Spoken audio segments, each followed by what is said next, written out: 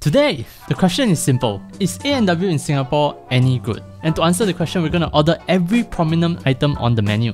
No, not every item because of the, you know, small starving YouTuber thing. But every prominent item should give us a good enough idea of how good A&W is. And if it's really good, how come it had to close all its outlets in Singapore back in 2013? Did you know A&W is actually the first fast food in Singapore, setting foot on our island in 1966, even before McDonald's and KFC. It also had Singapore's first ever fast food drive-in back in 1970. A&W set up by one Roy Allen and Frank Wright, the A&W coming from their initials, is an American fast food joint whose signature item is the root beer. The root beer is not really a beer, but it does have roots. It's actually a beverage made by combining syrup with roots, literally roots. More specifically, the root bark of the sassafras tree. There are of course many other recipes featuring other tree barks, spices and herbs, and the root beer actually has medicinal roots.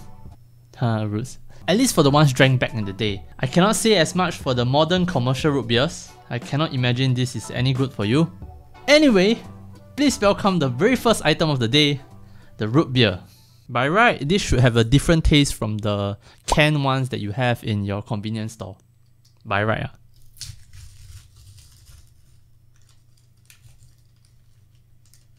Already very sus because I don't feel any ice, probably melted on the way here. It's never a good sign for fast food drinks. Root beer. Just nice, I'm very thirsty too.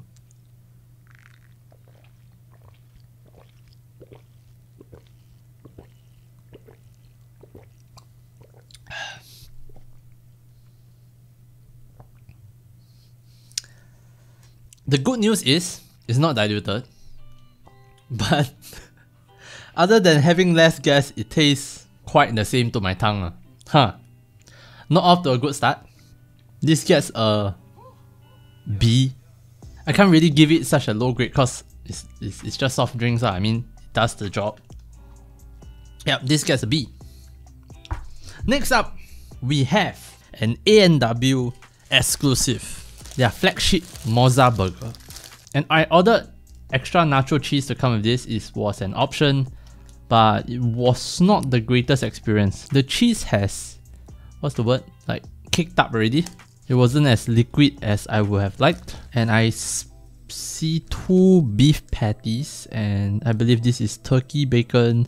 Looks pretty bad. Looks like the the fake meat that you get at vegetarian bihun stores and lettuce and tomatoes. Oh, you might have also realized the new setup now, which means I can do this.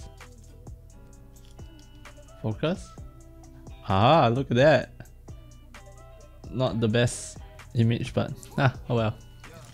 Okay, I want to try without the cheese first. Let's get a bite back here.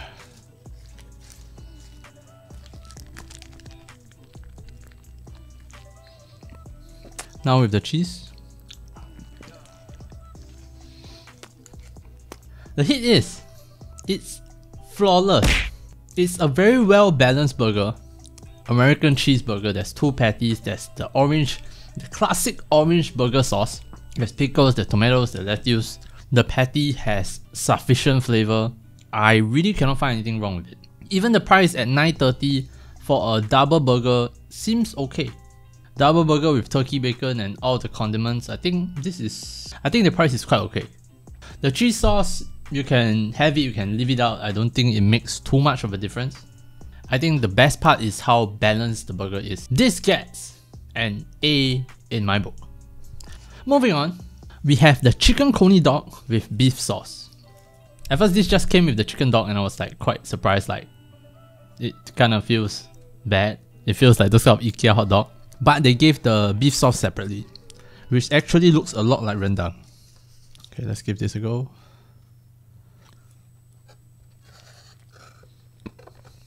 This is incredibly mediocre. Just the bread and the hot dog feels like you bought some cheap white bread, got a hot dog from a supermarket and boiled it. The hot dog is very flat and a bit more to the salty side. The beef chili sauce is okay, but at $6.10 for a hot dog, this gets a D. Moving on, we have the same chili sauce with curly fries. Let's just get a plain curly fry first. Now with the sauce.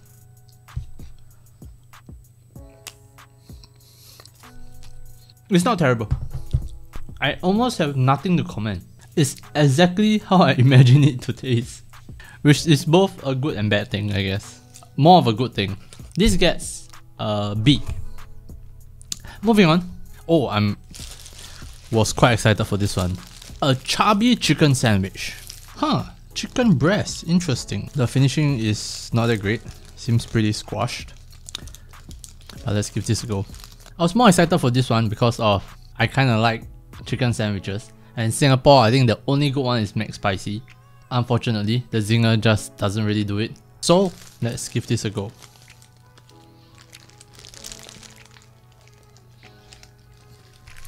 The chicken itself is actually pretty flavorful. But using breast meat is so brave. And unfortunately, it didn't pay off this time. Like, clogs up the mouth so much because of all the fibers. And there is not enough sauce to facilitate the process. huh, I think even Zinger can beat this. This gets a D. Moving on, we have a classic double cheeseburger. So, very classic, sesame bun, two patties. The cheese is actually melted very well. Tomato sauce and pickles. Give this a try. I'm not sure if I blind tasted this and McDonald's double cheese, will I be able to tell the difference? But my wallet will be able to because this comes in at 6.90 a la carte compared to McDonald's. What's the usual price? I know they sell it for $2 here and there, but I cannot remember the usual price. So probably double the price. This gets a C. It's still a tasty burger, but really expensive. Moving on, we have onion rings. Oh, this was 455. And this was all I got. 4, 5, maybe 6, 5, somewhere there. 1, 2, 3, 4, 5. 1, 2, 3, 5. Okay, but they are pretty sizable.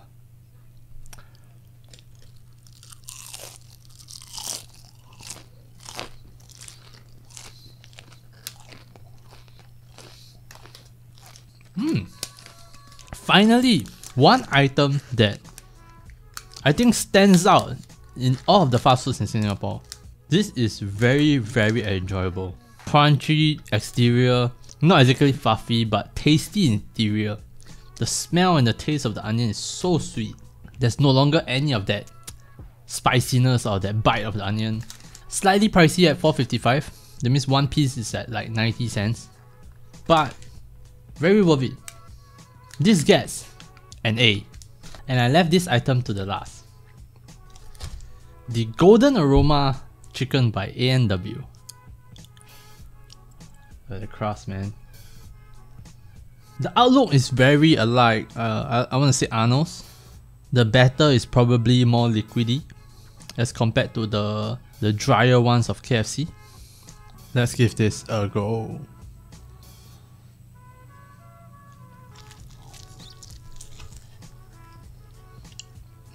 Oh.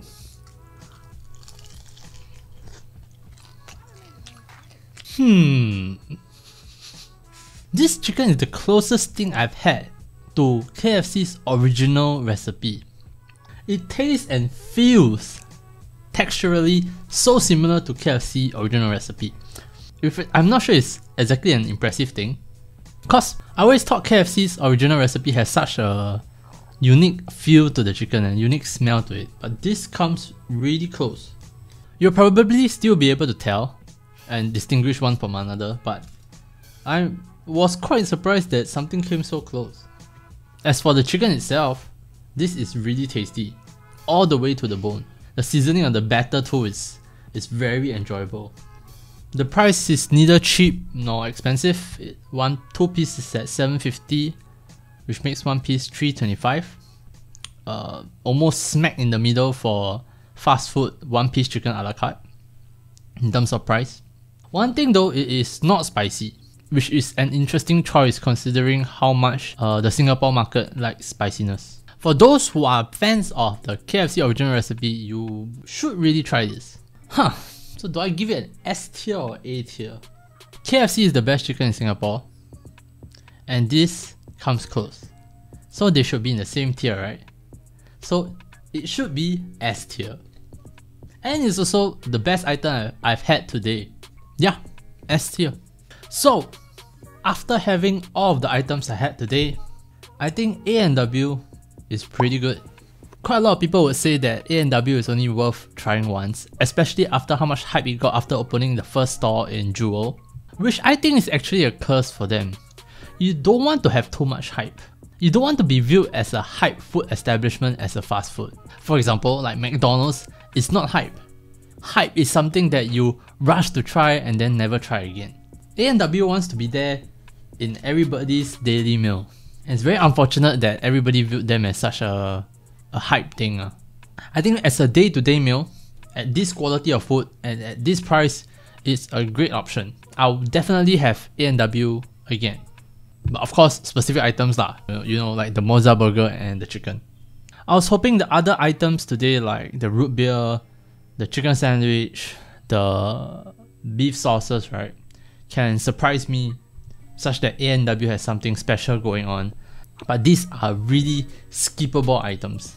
A&W would have been great if they have like signature items that only they can deliver at a certain level. But from what I tasted today, they are only good.